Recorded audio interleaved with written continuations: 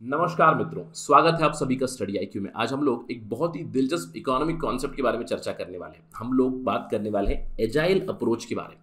Agile approach को economic survey ने बताया कि it was one of the key approaches to India's economic response to the COVID nineteen shock हम quite sure कि आपने economic survey की डिस्कशन देखी होगी, जहाँ पे इकोनॉमिक सर्वे ये कहती है कि पिछले दो सालों से, जहाँ पे इंडिया पे ही नहीं, पूरे विश्व पे एक इकोनॉमिक शॉक ज़रूर लगा था। इकोनॉमिक स्लो डाउन आई है सप्लाई चेन डिस्टर्ब हो चुकी थी, जिसकी वजह से GDP numbers were in negative अब इससे जल्द से जल्द रिकवर होना है तो हमें उसी लिए पर्याप्त इकोनॉमिक पॉलिसी से फिर स्टेप्स भी लेने हैं।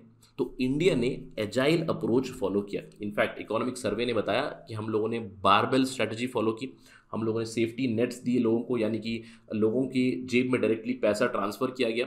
बहुत सारी दूसरी स्टेप्स लिए गए जिससे कि सेफ़ सेफ्टी नेट्स बनाए गए ताकि लोग खुद कोविड नाइन्टीन से लड़ने के लिए तैयार हो रहे।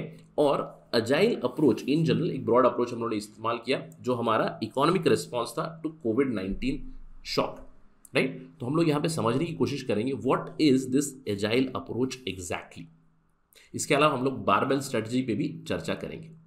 तो आपको इस पर्टिकुलर लेक्चर में ये सारी इन्फॉर्मेशन मिलेगी। To get to know that stay with me on study I Q मैं हूँ आपका दोस्त राहुल सहगांवकर आप मुझे इस आई पे फॉलो कर सकते हैं और अगर आप तैयारी कर रहे हैं कॉम्पिटेटिव एग्ज़ाम्स की then do visit study I Q dot com या फिर आप हमारा ऐप भी डाउनलोड कर सकते हैं गूगल प्ले स्टोर से, जहाँ पर आपको सारी इन्फॉर्मेशन मिल जाएगी। चलिए, चर्चा शुरू करते हैं। और मैंने आपको बताया कि इकोनॉमिक सर्वे हाल ही में रिलीज़ हुई थी। हम लोगों ने इस पर चर्चा भी की थी। उसके पहले चैप्टर में स्टेट ऑफ़ द इकोनॉमी में ये बताया गया कि इंडिया की इकोनॉमिक ग्रोथ रियल टर्म्स में 9.2 परसेंट होने वाली है इन दिस करंट फ़िज़िकल 2021-22 में। और ये बताया गया कि एट दिस ग्रोथ रेट हम लोग 2019 2020 यानी कि प्री पैंडमिक लेवल पे पहुँच जाएँगे या फिर पहुँच चुके हैं। देखिए, अगर हम लोग जीडीपी ग्रोथ या फिर इकोनॉमिक ग्रोथ के नंबर्स देखें तो कुछ इस डायरेक्शन में थे, लेकिन जैसे ही कोविड ने हिट किया तो पूरे विश्व में they went haywire they went to negative right 2020 2021 में नेगेटिव ग्रोथ रेट था। फिर अगर हम लोग बात करें, अभी 22 में धीरे धीरे से we are coming back to the pre pandemic level ये बताया गया।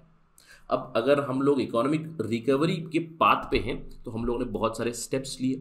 काफ़ी अनसर्टन टाइम्स था। पिछले दो सालों में बहुत सारी चीज़ें, बहुत सारी पॉलिसीज़ बदली, बहुत सारे डिसीजंस लिए गए, जिसकी वजह से आज हम लोग बात कर सकते हैं, एक स्विफ्ट इकोनॉमिक रिकवरी मोड पे हम लोग पहुँच चुके हैं राइट अब इसी के ऊपर हमारी चर्चा चलेगी इकोनॉमिक सर्वे ने हमें बताया कि हमारा जो फ्रेमवर्क था, जिसकी बेसिस पे हम लोगों ने डिसीजंस लिए पिछले दो सालों में that was based on the barbell strategy the safety nets and the agile approach अब सेफ्टी नेट्स तो काफ़ी सिंपल है। सेफ्टी नेट्स मतलब अगर वर्स्ट सिनारियो आ जाए तो उसके लिए हम लोगों ने काफ़ी सारी सेफ्टी नेट प्रोविज़न ली थी, बहुत ज़्यादा लिक्विडिटी पंपिंग की थी हम लोगों ने अपनी इकोनॉमी में। आरबीआई ने मेजर्स लिए मॉनेटरी पॉलिसी से फ़िज़िकल पॉलिसी से, सरकार ने मेजर्स लिए, प्रधानमंत्री गरीब कल्याण योजना, मुद्रा योजना में बहुत सारी एक्स्ट्रा फंडिंग दी एम को डायरेक्टली पैसा ट्रांसफ़र किया गया तो बहुत सारी सेफ्टी नेट प्रोविजंस की गई थी। तो हम लोग यहाँ पे देखेंगे, ये एजाइल अप्रोच और बारबेल स्ट्रेटजी है क्या? ये दोनों भी मिलकर ही समझेंगे। सबसे पहले बारबेल स्ट्रैटेजी को समझते हैं। नाम से ही पता चला बारबेल अगर आप जिम जाते हैं तो आपने कुछ इस तरह की चीज़ देखी होगी, आपकी डम्बेल या फिर बारबेल एक बार है और उसके दोनों एंड पे वेट्स लगे हुए हैं। तो उसी की, उसी से इंस्पायर्ड है ये barbell strategy barbell strategy finance में ये कहती है कि 90 परसेंट आपका कैपिटल सेफ़ होना चाहिए और बाकी 10 परसेंट आप रिस्की इन्वेस्टमेंट में लगा सकते हो। तो ये एक इन्वेस्टमेंट स्ट्रैटेजी है।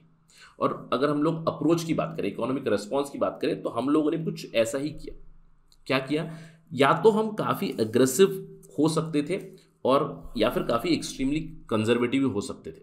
और हम लोगों ने इन दोनों चीज़ों का मिश्रण इस्तेमाल किया। हम लोगों ने ना इधर रहे, ना इस तरफ़ रहे, ना कंप्लीटली अग्रेसिव थे, ना कंप्लीटली कंजर्वेटिव थे। ये आपको समझ में आएगा, अगर मैं उदाहरण दूँगा।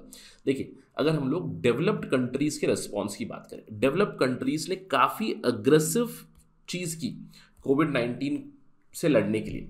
अब कोविड नाइन्टीन की वजह से जो इकोनॉमिक शॉक लगा था डेवलप कंट्रीज़ ने बहुत ज़्यादा रुपया पंप इन कर दिया immediately in their in their economy ताकि वहाँ पर डिमांड बढ़े और इकोनॉमिक स्लो डाउन ना हो। तो उन्होंने एक तरफा पॉलिसी अप्लाई की थी। लेकिन हम लोगों ने बारबेल स्ट्रेटजी को इस्तेमाल किया, जहाँ पे हम लोगों ने क्विक रिस्पॉन्सेस किए कैलिब्रेटेड रिस्पॉन्सेस दिए। हम लोग, हम लोगों ने कंटिन्यूस फीडबैक मैकेनिज्म सेट किए थे, जिसके ऊपर हम लोग एक तरफ़ इंफॉर्मेशन कंटिन्यूसली कलेक्ट कर रहे थे और दूसरी तरफ़ वर्स्ट आउटकम्स के लिए हम लोग तैयार थे।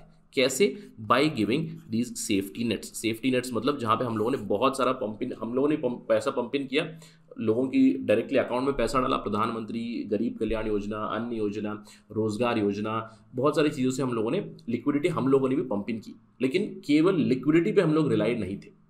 इसीलिए बारबेल स्ट्रेटजी को हम लोगों ने एजाइल अप्रोच के साथ क्लब कर दिया राइट बारबेल स्ट्रेटजी में आप देखिए, यहाँ पे हम लोगों ने दोनों का मिश्रण इस्तेमाल किया था और इसको भी हम लोग कंटिन्यूसली बदलते रहे।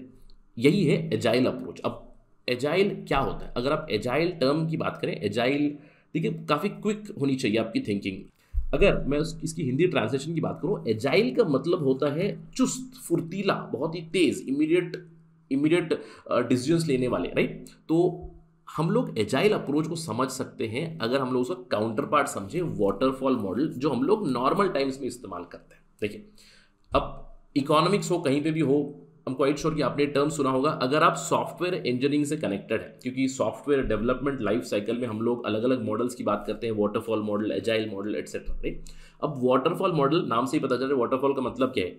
पानी का झरना। एक जगह से आ रहा है और कंटिन्यूसली फ्लो हो रहा है और इसी डायरेक्शन में ये फ्लो होगा। यूनी डायरेक्शनल आपकी पॉलिसी रहेगी। वाटरफॉल मॉडल मतलब आप चीज़ों को एनालाइज करोगे प्लान करोगे डिज़ाइन करोगे बिल्ड करोगे और डिप्लॉय करोगे right it is unidirectional यानी कि जो मैंने आपको बताया डेवलप्ड कंट्रीज़ का अप्रोच था कि भैया इकोनॉमिक शॉक हुआ तो उनका एक अप्रोच था, पैसा पंप इन करो, सब कुछ ठीक हो जाएगा राइट लेकिन हमारा अप्रोच एजाइल था।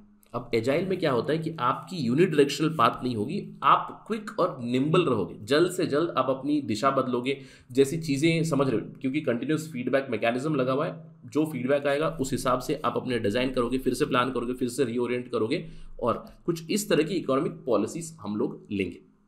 इसका टिपिकल उदाहरण मैं आपको दे सकता हूँ। जिस तरह से हम लोगों ने धीरे धीरे लॉकडाउन्स को ईज किया स्पेशली अगर आपको याद होगा 2020 में। शुरुआती दौर में बहुत ही स्ट्रिक्ट लॉकडाउन लगा मार्च 2020 में।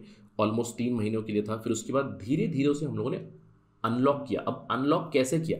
Unlock based on many parameters जैसे जैसे हमें खबरें आ, आते गई कि कोविड के केसेस धीरे धीरे कम हो रहे हैं पॉजिटिविटी रेट जो हो वो है डिक्लाइन हो रही है तो उसके बाद हम लोगों ने धीरे धीरे अनलॉक करना शुरू कर दिया। और यही हमारा अप्रोच रहा है। फ़र्स्ट वेव की बात करें सेकेंड वेव की बात करें थर्ड वेव में इनफैक्ट एक कॉमन मीम भी आ रहा है, जहाँ पे हम लोग कह रहे हैं कि थर्ड वेव कुछ है ही नहीं थर्ड वेव में तो सब लोग सर्फिंग कर रहे हैं right so again this is a part of agile approach it जहाँ पे हम लोग फीडबैक के ऊपर रिलाई करते हैं। एजाइल में फीडबैक लूप सेटअप करते हैं। रियल टाइम डेटा के ऊपर हम लोगों ने अपनी पॉलिसी रेस्पॉन्सेस दी।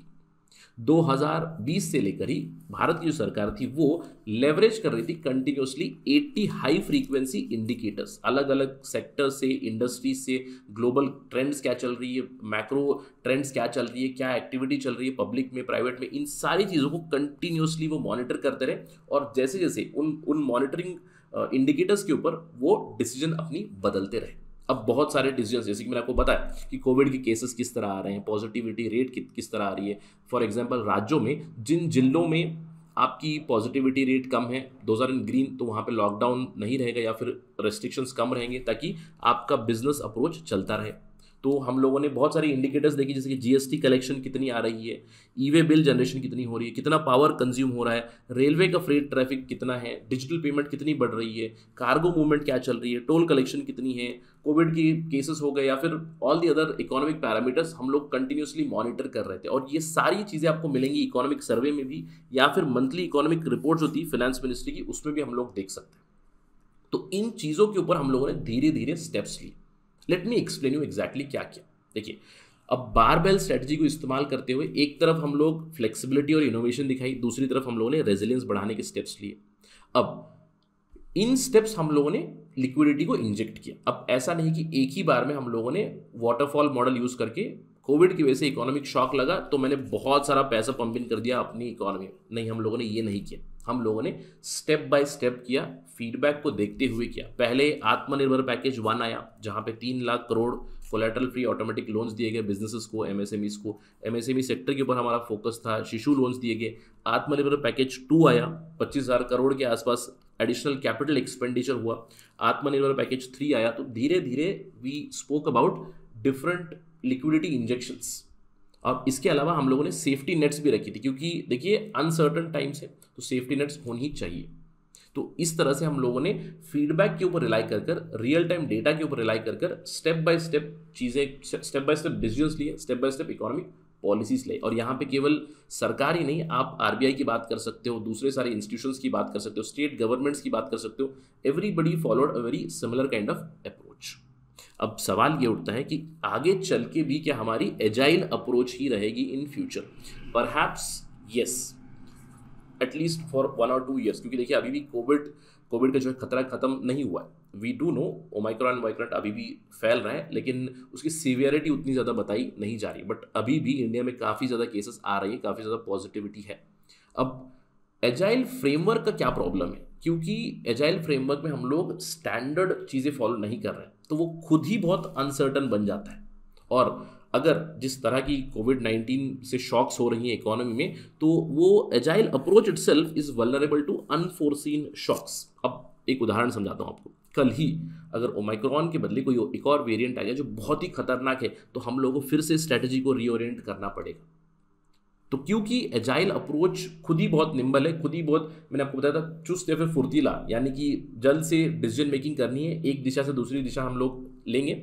इसी के लिए हम लोगों ने बारबेल स्ट्रेटजी को भी एम्प्लॉय किया था। बारबेल स्ट्रेटजी में आप एक तरफ़ बहुत ज़्यादा रिस्क लोगे। अब रिस्क क्या है? एजाइल अप्रोच में आप रिस्की डिसीजंस ले रहे हो। तो दूसरी तरफ़ आपको इसको हेज भी करना है। आप इसको हेज किया आपने सेफ्टी नेट से। तो मैसिव अनसर्टनिटी थी। इसके लिए हम लोगों ने सेफ्टी नेट्स यूज़ किए, जैसे कि प्रधानमंत्री गरीब कल्याण योजना, आत्मनिर्भर पैकेज जो मैंने आपको बताया, बहुत सारे सप्लाई साइड रिफॉर्म्स हम लोगों ने लाए। तो इन सब चीज़ों को फॉलो करते हुए हम आज इकोनॉमिक रिकवरी मोड पे पहुँचे हैं।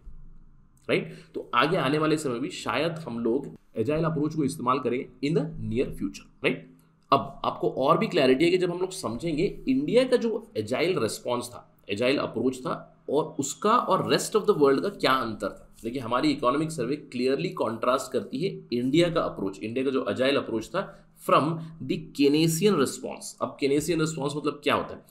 जॉन मेनार्ड किन्स एक इकोनॉमिस्ट थे, जिन्होंने बताया था कि अगर स्लो डाउन चल रहा है इकोनॉमी में तो आप मैसिव लिक्विडिटी इन्फ्यूजन कीजिए या फिर मैसिव स्टिमुलस दीजिए ताकि आपकी इकोनॉमी में डिमांड बढ़े।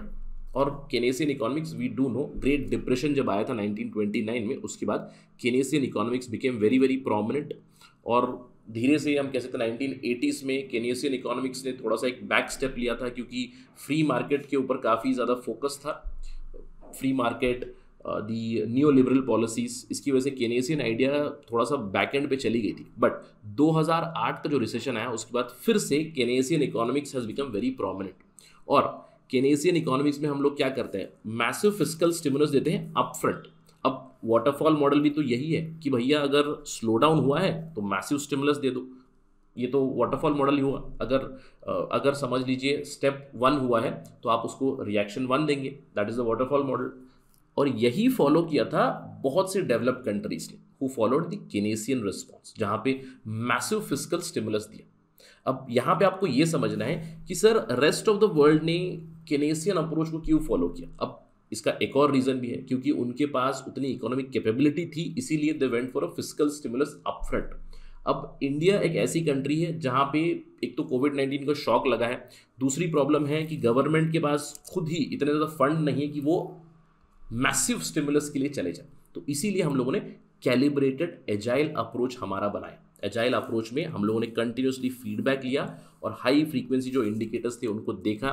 अर्ली साइंस जो भी आए, जिससे अगर इकोनॉमिक रिकवरी हो रही है, या फिर कोई एक सेक्टर है जहाँ पे ज़्यादा स्ट्रेस है, इन सारी चीज़ों को हम लोगों ने ध्यान में रखा और उन जगह पे हम लोगों ने लिक्विडिटी इंजेक्शन की और लिक्विडिटी इंजेक्शन भी काफ़ी कैलिब्रेटेड थी। धीरे धीरे हम लोगों ने पैसा इकोनॉमी में डाला और जब हम लोग अभी रिकवरी के मोड पे हैं, हम लोगों ने एसबीआई की रिपोर्ट पे पढ़ी कि आने वाले समय में शायद आरबीआई लिक्विडिटी सकआउट करे अब ये कैसे करेगा? रिवर्स रेपो रेट बढ़ाकर। यही चीज़ बताई। इनफैक्ट जो हमारी इकोनॉमिक रिकवरी हो रही है now it has gained momentum और इसीलिए मैंने आपको कहा, शायद एजाइल अप्रोच अभी और कंटिन्यू करेगा, क्योंकि एजाइल अप्रोच से ही हम लोगों ने समझा किस चीज़ की ज़रूरत है। कभी हमें मैसिव स्टिमुलस की ज़रूरत थी, आत्मनिर्भर पैकेज दिया। उसके बाद हम लोगों ने देखा कि इकोनॉमी धीरे धीरे रिकवर हो रही है तो हम लोगों ने कैपिटल एक्सपेंडिचर के ऊपर स्पेंडिंग डाली बहुत ज़्यादा।